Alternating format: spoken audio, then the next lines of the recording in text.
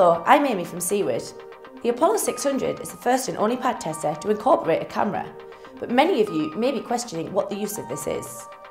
The camera is not only useful when PAT testing, but also for many other workplace testing inspections, including risk assessment. This series of short videos will describe 10 uses of the Apollo 600 camera to help you work more efficiently and offer a value-added service to your customers or duty holder. Identifying an appliance. How many times have you been issued your asset list and then spent much more time actually looking for an appliance than testing it? Use the Apollo 600 to take a photo of each appliance when testing for the first time.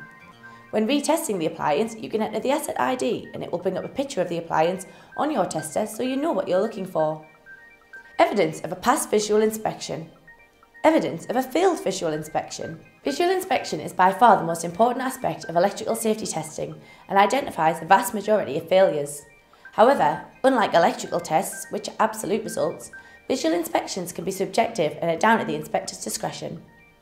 The camera can be used to justify why an appliance has passed the visual inspection and sometimes, more importantly, why it has failed. Evidence of appliance repairs before and after. You may be required to give evidence of repairs that have been completed on appliances. It would be helpful to take a before and after picture, which will be time and date stamped and use these as proof of the repair. Proving why equipment could not be tested.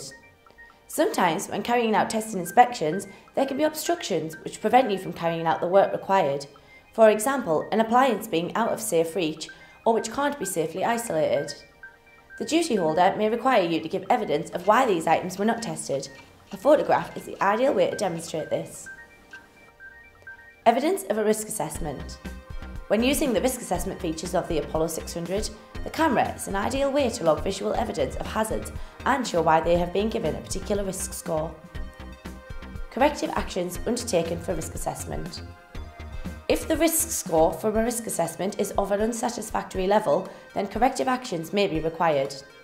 The camera can be used to highlight what needs to be done as well as show that the work is being carried out.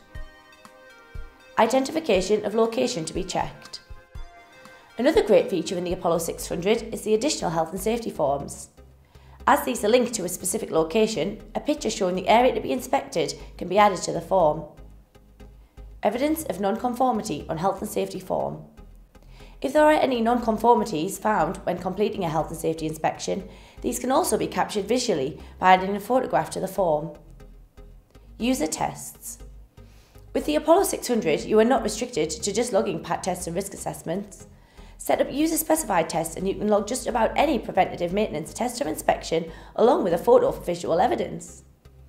Some ideas are PPE kit checks on items such as safety helmets, access equipment including ladders and safety frames, lifting equipment, pollution monitoring, fluid level monitoring, fire safety on the likes of break glass points or fire extinguisher inspections. The list is endless. Apollo 600, more than just a PAT tester.